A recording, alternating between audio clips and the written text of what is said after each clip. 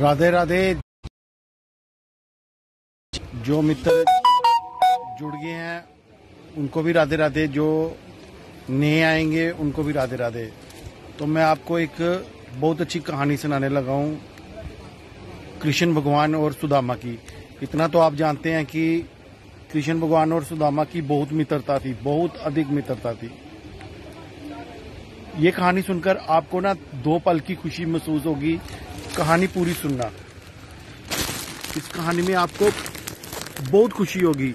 ये मैं टाइम निकाल कर आपके लिए स्पेशल सुना रहा हूँ, क्योंकि मैंने ये कहानी, मुझे बड़ी पुरानी मेरे रिश्तेदार, किसी दादी वगैरह ने सुनाई थी।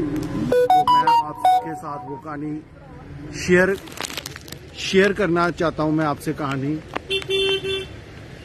तो कहानी ये है कि जब सुदामा के ऊपर बहुत गरीबी छाई थी बहुत गरीबी। तो उसकी बीवी उसको रोज बोलती थी कि तेरा दोस्त है कृष्ण, द्वारका में जा, वहाँ से उनसे मदद मांग। तो वो ना कर देता था। लेकिन उसका एक नियम था कृष्ण भगवान के लिए कि वो भिक्षा मांगने जाता था पाँच जगह।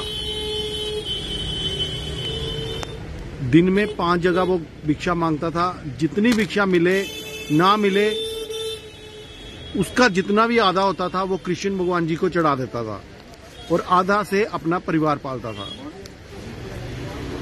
तो ये चीज़ रोज कृष्ण भगवान वहाँ से देख रहे थे। साथ में राधा जी भी देख रहे थे।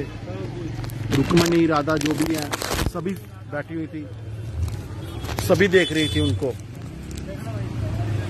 तो कृष्ण भगवान जी परीक्षा, विष्णु भगवान, कृष्ण भगवान, लक्ष्मी माता सब एक ही है। तो वो परीक्षा ले रहे थे उनकी। एक दिन उनको ना सिर्फ़ पूरे पाँच के पाँच घरों में कुछ नहीं मिला। सुदामा जी को पाँच घरों में गए, पाँच के पाँच किसी घर में कुछ नहीं मिला उनको। आखिर बार आते वक्त उन्होंने देखा कि एक जगह चींटियाँ, जहाँ लोग चींटियों को डालते हैं ना दाने, वहाँ उनको दो चावल के दाने मिले। वो दो दाने उठा के ले आए। अब ऊपर से कृष्ण भगवान और लक्ष्मी भगवान विष्णु भगवान और लक्ष्मी माता जो अवतार थे, वो देख रहे थे उनको। वो देख रहे थे कि आज इनकी, इसकी परीक्षा ली जाएगी, क्योंकि ये आधा जो होता है वो मेरे को दे देता है। जब वो घर में गए तो उन्होंने अपनी बीवी को, एक दाना चावल का उन्होंने अपनी बीवी को दे दिया। और एक दाना जो था ना, वो कृष्ण भगवान के आगे चढ़ाने के लिए जाने लगे। तो उसकी बीवी ने उनको बोला आज दो दाने मिले हैं, चार बच्चे हमारे हैं, और आज भी आप कहता, नहीं, ये मैंने अपने आप से, अपनी आत्मा से प्रण लिया हुआ है कि जो भी, जितना भी पाँच घरों से मुझे मिलेगा, आधा मैं कृष्ण भगवान जी को चढ़ाऊँगा, अर्पित करूँगा। तो उनकी जो बीवी थी, सुदामा की बीवी थी, उन्होंने कहा जो एक दाना है, ये भी उनको दे दो। मेरा क्या बनेगा? बच्चे तो वैसे भी सोए हुए हैं, अब वो सुबह ही मांगेंगे। तो उन्होंने वो दोनों दाने जब कृष्ण भगवान के चरणों में रखे ना तो वो सीधे उनके विष्णु भगवान के हाथों में आए। तो आप ये वाला पल खुद सोचो कितनी खुशी भगवान को हुई होगी। और मुझे लगता कि आप भी इस वक्त ये वाला आपके आपके चेहरे पे भी मुस्कुराहट, यही खुशी होती है। आप बोलते हैं ना, इतने पैसों से खुशी, नहीं।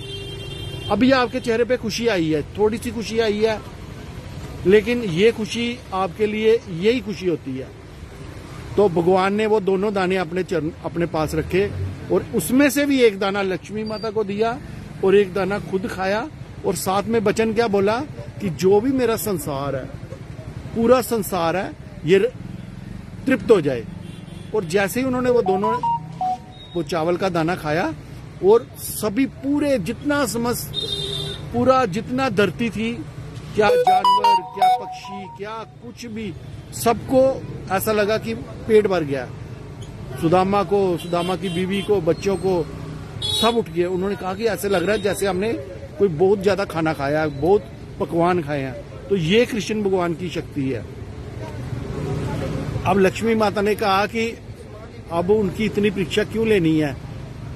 कहता, नहीं, अभी और परीक्षा कहता, जब तक ये, क्योंकि बचपन की एक कहानी है, वो भी मैं कभी सुनाऊँगा।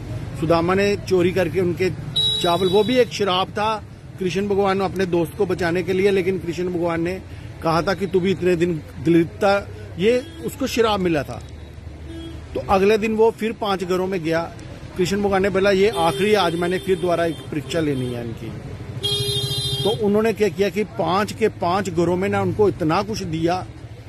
चावल आटा, जो फ्रूट फल सब दिए। अब सुदामा इतना खुश है, आज मेरे को इतना कुछ मिल गया। लेकिन परीक्षा तो वो ले रहा था ना ऊपर वाला, कृष्ण भगवान। तो उन्होंने क्या किया कि एक औरत को बेस बदल कर भेजा लक्ष्मी माता ने।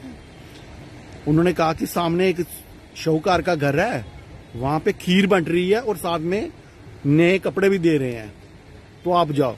तो उसने कहा, नहीं, मैंने पाँच घरों में हो आया हूँ तो मैं अब छठे घर नहीं जाऊँगा। क्योंकि मैं पाँच घरों में ही तृप्त हो गया हूँ, छठे घर नहीं जाऊँगा। उन्होंने बड़ा लालच दिलवाया। कहते लालच बुरी बुला। ये कहानी जो है, सत्य पर आधारित है कि लालच जो है, वो इस करके बुरा बुला है। अब वो लालच के पीछे छठे घर में चला गया। चला गया तो वहाँ पे उसको इतनी सारी खीर, पकवान, सब कुछ मिला। लेकिन उसी वक्त वहाँ पे बहुत सारे गुंडे आ गए। डाकू आ गए, उस जमाने में डाकू बोलते थे। सब रचा रचाया कृष्ण भगवान का था। तो उन्होंने घोड़ों के साथ उसके ऊपर मसल दिया, उसका सारा सामान गिर गया, सब गिर गया।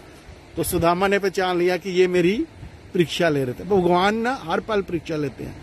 उसके बाद फिर उसकी बीवी ने उसको समझाया, उसको कहा कि आप द्वारका जाओ।